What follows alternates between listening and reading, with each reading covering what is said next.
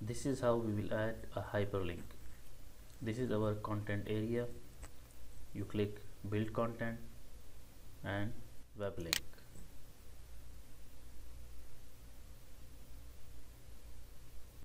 Here you will type the name of the link.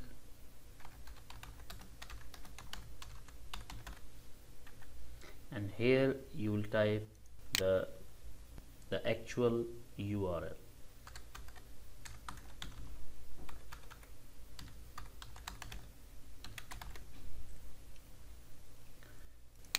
here you can type any detail related to the link. If you have any attachments you can put them through using this button. Web link options open in a new window yes. Permit users to view this yes. Select date and time restrictions. If you have any you can select from here. Otherwise click submit. So we have our link now if I click this one a new tab opens for the new page. That was one way of creating a hyperlink.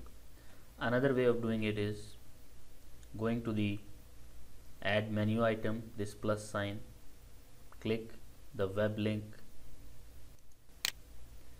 Again here you have the link name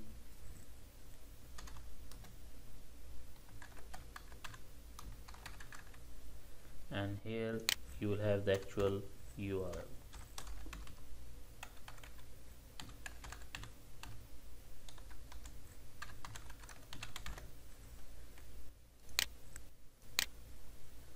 at the end of all the menus you will see the link.